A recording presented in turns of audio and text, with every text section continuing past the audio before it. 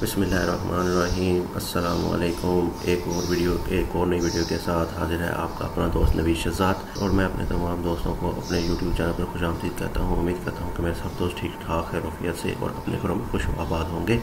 अल्लाह आपको हमेशा खुश रखे। तो जी दोस्तों, आज इस वीडियो में एक और प्रोजेक्ट के साथ हाजिर हुआ हूँ, जो कि आपको इन बहुत ज़्यादा पसंद आने वाला है। ये एक ग्यारह मल्ले का प्लान है।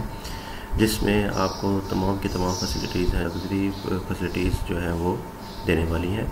इसके साइज़ की बात करें तो हमारे पास साइज़ है पैंतालीस feet by सतासठ feet sixty eight feet sixty seven feet इसका साइज़ भी रेगुलर सा प्लॉट है, हर चौथा प्लॉट जो है वो तकरीबन इस साइज़ का ही होता है, जो कि ग्यारह मरले का होता है, कि ग्यारह मरले दो सौ बहत्तर स्क्र फिट के हिसाब से बनेगा। इसमें आप देख सकते हैं कि आपको मिलेगा एक अदद ग्राउंड फ्लोर प्लान चले करते हैं हम इसको डिटेल के साथ डिस्कस तो इसमें आ जाता है हमारे पास सबसे पहले मेन गेट आ जाता है। मेन गेट में आपके पास आ जाते हैं दो अदद गेट एक बड़ा गेट और एक छोटा गेट बड़ा गेट जो है वो तकरीबन ग्यारह फिट का है।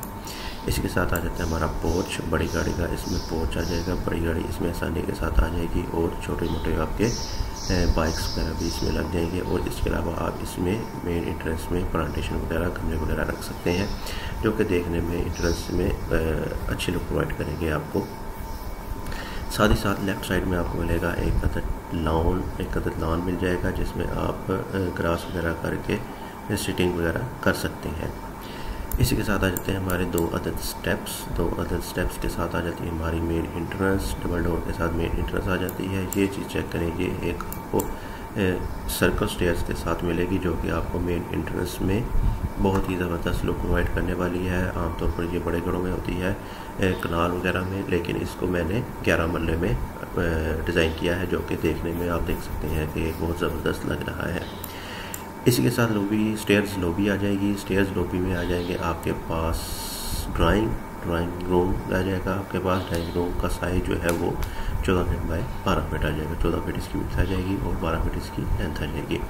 इसके साथ मिल जाएगा हमें एक डाइनिंग जो कि ड्राइंग के जो कि ड्राइंग के लिए यूज़ होगा और वाइट लाउंज के लिए भी यूज़ होगा।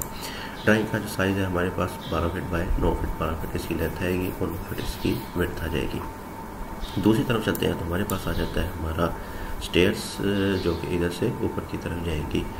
अच्छा आगे आ जाता है हमारा पाथ जो कि हमें एक्चुअल में ड्राइंग के लिए यूज़ करना है। तो अगर आप इसको चाहें, जो मैं आपको रिकमेंड करूँगा, जो बेस्ट है, इसको आप डोर अंदर की तरफ़ से दें, ताकि इसको आप अंदर की तरफ़ से यूज़ कर सकें और कॉमन यूज़ में भी ला सकें। क्योंकि ये एक क्लाइंट की डिमांड थी तो इसलिए हमने इसको फ़िलहाल बाहर की तरफ़ रखा है। लेकिन मैं यही रिकमेंड करूँगा कि आप इसको अंदर की तरफ़ डोर रखें।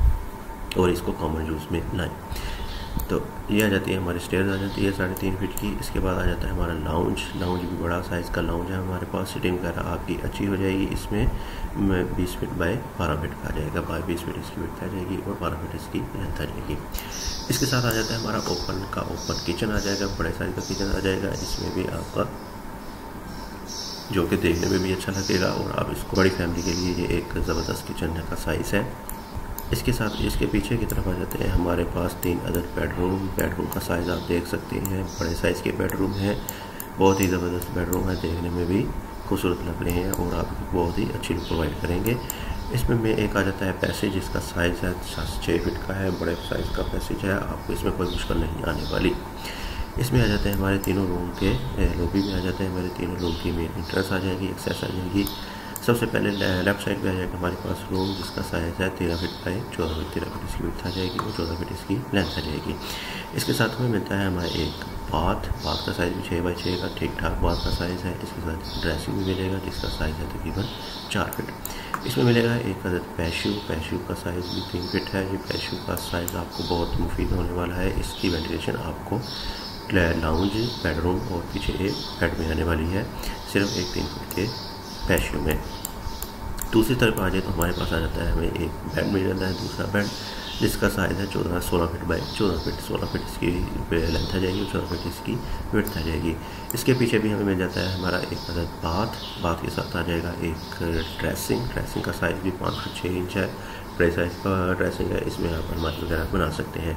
इसके साथ हमें बड़े साइज़ का मिल जाता है एक अदद बाथ जिसका साइज़ है आठ फिट बाई छः फिट लास्ट वन बात लास्ट वन बेडरूम की बात करें तो हमारे पास इसका साइज़ है अठारह फिट बाई चौदह फिट अठारह फिट इसकी विथ आ जाएगी और चौदह फिट इसकी लेंथ आ जाएगी।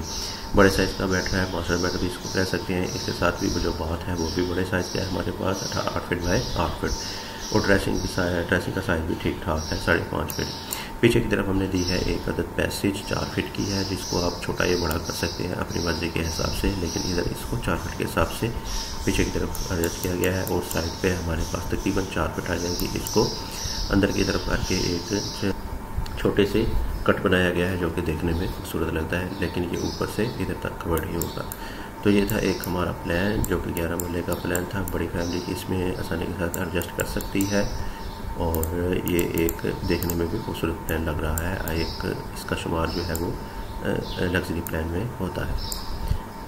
तो आप इसको एक बार अपने हिसाब से देख सकते हैं। कुल मिला के आपको मिलने वाले हैं। इनमें तीन अदर बेडरूम एक लाउंज एक डाइनिंग एक ड्राइंग रूम और बड़ी गाड़ी का गराज स्टेयर्स लॉबी और किचन वगैरह और एक छोटा सा लाउंज जिसमें ऑपरेशन वगैरह कर सकते हैं। उम्मीद करता हूँ कि आपको मेरा ये प्लान भी पसंद आया होगा। मिलते हैं एक अच्छे नेक्स्ट प्लान के साथ। तब तक के लिए मुझे दीजिए इजाज़त। तो हमें याद रखिएगा, अपना बहुत सारा ख्याल रखिएगा। अल्लाह हाफिज़।